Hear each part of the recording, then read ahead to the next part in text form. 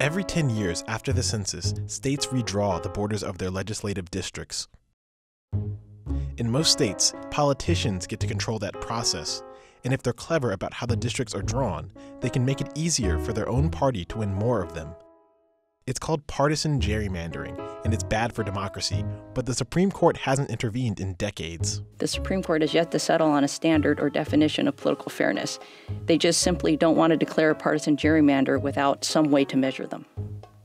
That's what Cho's research team is trying to fix with a supercomputer. So we're trying to build a measurement tool to help the court measure whether political parties have manipulated a map to gain an unfair advantage. In other words, they're making a gerrymandering ruler. So when you redistrict, there's a phenomenal degree of possible manipulation. Almost any shape you want to make is possible. That's led to a bunch of oddly shaped districts.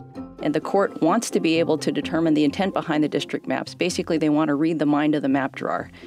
It doesn't have any way to do this. The team started developing their tool by identifying what criteria are important to the court. Some criteria are required by law. For instance, we have to have about the same number of people in every district, and all districts have to be contiguous. Contiguous just means they can't be broken up into a bunch of pieces, with some exceptions. The court wants districts that preserve political subdivisions like cities, counties, municipal boundaries. So, whenever you find an identifiable community of like minded individuals, the court likes it when those people are kept together in the same district. Wendy's team is using a supercomputer to generate district maps based on those criteria. So we can create a million or a billion maps using only the criteria required by law and the traditional districting principles, and we don't use any political information.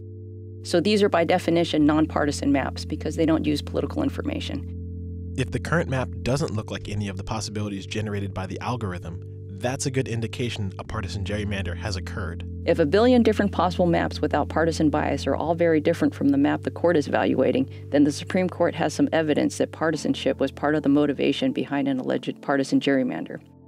If we then have the computer draw another billion maps where we code in partisan information in addition to the traditional districting principles, and those maps do appear similar to the map in question, the Supreme Court could rightly infer partisan motivation.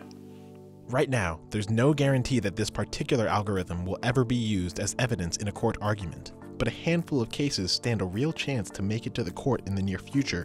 One of them, Whitford versus Gill, deals with a Republican drawn map for Wisconsin, where Republicans won 48.6% of the vote in 2012, but won 61% of the state assembly seats that year. The court has struggled to identify a test for partisan gerrymandering, but this time around, Cho's project and others like it will make it harder for the justices to keep putting it off.